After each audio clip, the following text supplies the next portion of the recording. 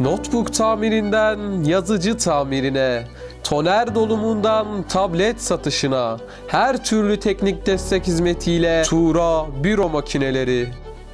0212 321 0925 0212 321 0925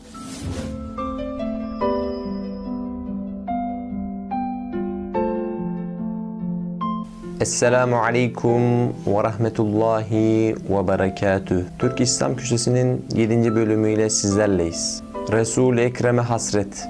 İnsan kainatın hülasası, sen ise bu hülasanın ruhusun. Sen yaratılmasaydın alem yaratılmaya değmezdi. Varlık seninle manalandı. Bu dünya seninle şereflendi. Yaratıkların en aşağısı olan toprak bile seninle nurdan daha aziz oldu. Sen dünyamıza doğmadan önce kızgın kumlarda diri diri gömülen genç kızların çığlıkları vicdanları yakmıyordu. Burnu halkalı, alnı damgalı köleler ümitsizdi. Kadınlar kocalarına, kocaları da Uzza ve Hubel'e secde ediyorlardı. Zalimler ve şerefsizler bütün makam ve mevkileri işgal etmiş, şerefli insanlar ise yerlerde sürünüyorlardı. Sen geldin, çığlıklar bitti, gözyaşları dindi. Köleler hür oldu, kadınlar yüceldi.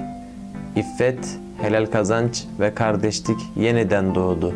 Hak, adalet, şefkat, devlet oldu. Mazlumlar ve mağdurlar kuvvetlendiler. Zalimler ve gaddarlar kahroldular.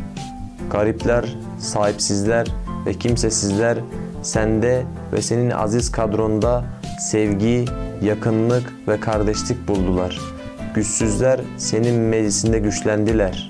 Kendilerinde güç vehmedenler hakkın karşısında el bağladılar. Tebessümün kimsesizlere cesaret verirken mübarek anında kabaran damarların zalimlerin ödünü koparıyordu. Sana ne kadar muhtaç olduğumuzu biliyorsun.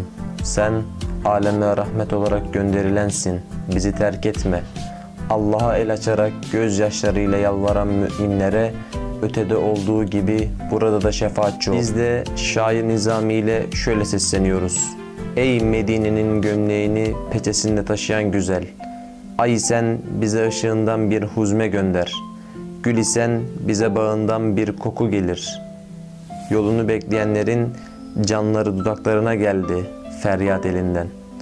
Ey feryatlara yetişen sevgili, atını başka diyarlara da sür.